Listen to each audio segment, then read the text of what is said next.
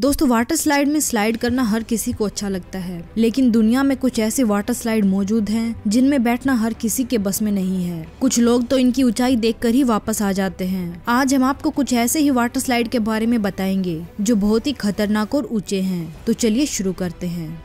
Summit plummet. ये water slide झूला America के फ्लोरिडा में है। ये वाटर स्लाइड बर्फ़ के पहाड़ के ऊपर बने हुए एक लकड़ी के घर में से निकलता है। 12 मंजिल ऊंचाई वाले इस वाटर स्लाइड में केवल बहादुर लोग ही बैठ सकते हैं। 100 किलोमीटर प्रति घंटा की रफ्तार से यात्रियों को नीचे की ओर लाने वाले इस झूले में यात्रियों को बहुत ही खतरनाक डर का अनुभव होता है। इस झूले से आप 118 फीट का सफ़र तय करते हुए पहाड़ के आसपास के बहुत सुंदर सुंदर नजारों का आनंद भी ले सकते हैं।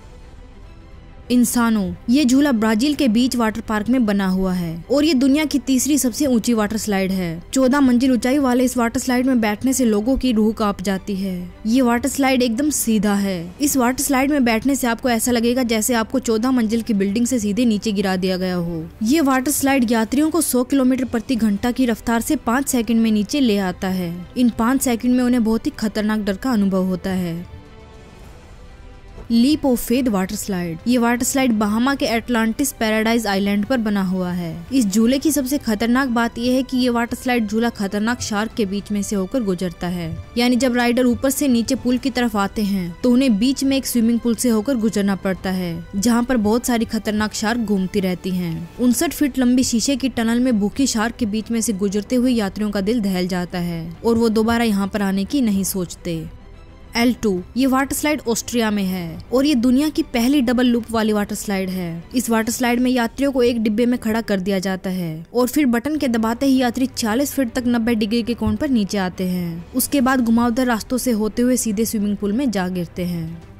किलीमैंजारो, ये वाटर स्लाइड ब्राज़ील के रियो शहर के बाहर बनी हुई है। ये दुनिया की दूसरी सबसे ऊँची वाटर स्लाइड है। ये वाटर स्लाइड एक फीट ऊँची है। लगभग 17 मंजिल की ऊंचाई वाली इस वाटर स्लाइड में केवल वही लोग बैठना पसंद करते हैं, जो एड्रेनलिन का मज़ा लेना चाहते हैं। ये वाटर स्लाइड यात्रियों को 60 डिग्री के कोण पर केवल पाँच सेकंड में सौ किलोमीटर प्रति घंटा की रफ्तार से नीचे ले आती है। इस वाटर स्लाइड पर चढ़ने वाले 20 लोगों में से केवल एक आदमी ही इसमें सफ़र कर पाने की हिम्मत कर पाता है। बाकी उन्नीस आदमी इसकी ऊंचाई देख ही वापस आ जाते हैं।